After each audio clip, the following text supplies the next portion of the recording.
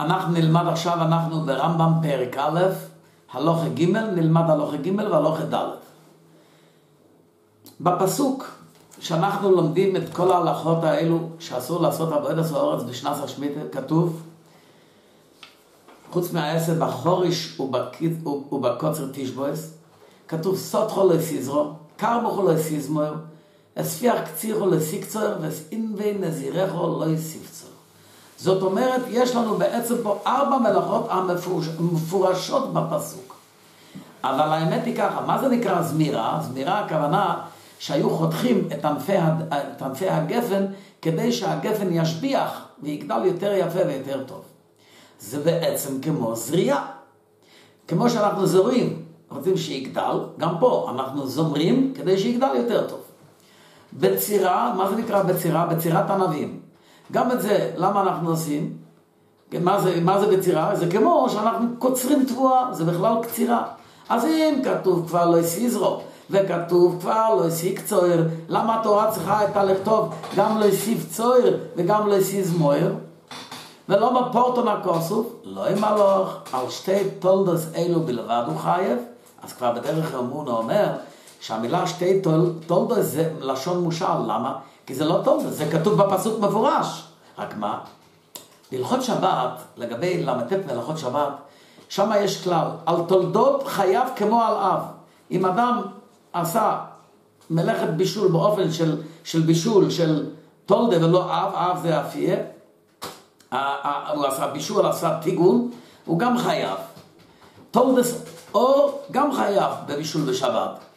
אבל, וכמובן כל האבות חייב, וגם תולדה. אבל פה אצלנו בשמיטה, מכיוון שהתורה פירטה את ארבעת הדברים האלו, אומר הרמב"ם רק על אלו בלבד הוא חייב, אבל על שאר התולדה של עבודת האורץ, כמו שאנחנו רואים במסכת, במסכת שבת ובהלכות שבת, שיש תולדס שעליהם בשבת הוא כן חייב, פה לא. שלא נספר שבין זה, אין אלוהיק עליהם. אבל מגנוס ומקרס מרטס, כלומר, הרי סוף סוף זה מדרבנן כן עשו, אנחנו מוצאים במשניות בפרק ב' ממשנה ה' והילך 17 מלאכות האסורות מדרבנן מלכס יש? כמקס מקס מרדיס מדרבנן יש? זה בסעיף ג' הלוך ג' עכשיו אנחנו נפרט יותר הלוך ד' אומר הרמב"ם כיצד?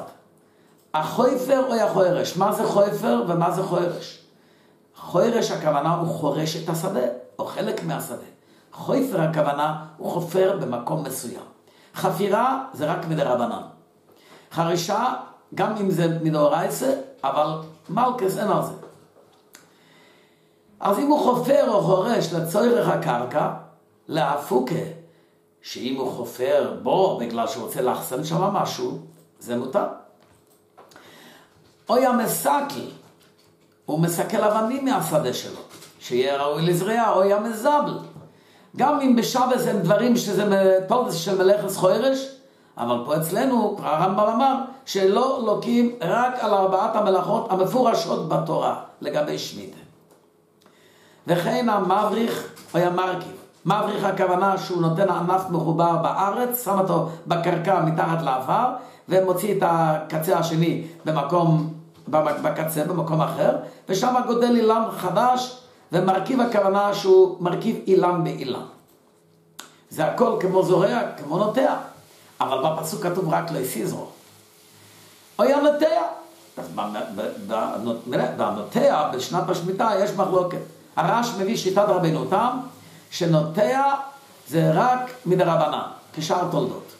ואולם הרש עצמו סובר שזה מן התוירה, והרי קורקוס אומר שלשיטת הרמב"ם נביאה זה גם מדרבנן, כמו שבאמת משמע תקף בהמשך. אז כשהוא עושה את הדברים האלו, וכיוצא בהם, מאבוידס או אילונויס, מקנויס ומקס מרדוס מדבריהם. כלומר, כל זה אסור רק מדרבנן, וזה לא מן התואר. הנה אנחנו רואים מפורש, שהרמב"ם סובר מפורש, שהנטע זה, זה, שהנטע זה רק איסור דרבנן. אבל בדרך אמון הוא מביא שבחזון איש הוא סובר שבשיטת הרמב"ם שזה נוטע זה אסור מן התואר, קל וחומר מזמירה.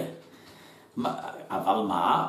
לא לוקים על זה, כי יש לנו דין שאין עונש מן הדין. כל דבר שאנחנו לומדים מקל וחומר, יש את הכלל שלא עונשים מן הדין. אבל אמרנו שיש לזה מחלוקת הראשונים, הרש ורבנו תם, האם נוטע יש בזה איסור דאורייתא או רק איסור דרבנן.